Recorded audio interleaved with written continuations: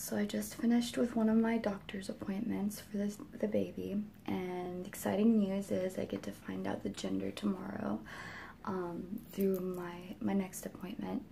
Um, and I I could have found out a month ago, but I had a little bit of a panic attack when I realized how real the baby was during the ultrasound and I kind of messed up my chance to do that then.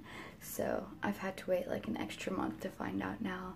I have my friend Nikki over there in the mirror with me for support, and and we're both pregnant at the same time, and it's just it's an exciting time for both of us.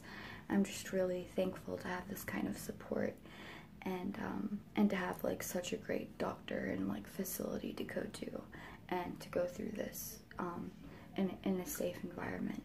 It's really important to me. So I'm really excited to be able to document this too because I haven't done this um, ever actually. So it's a new thing for me.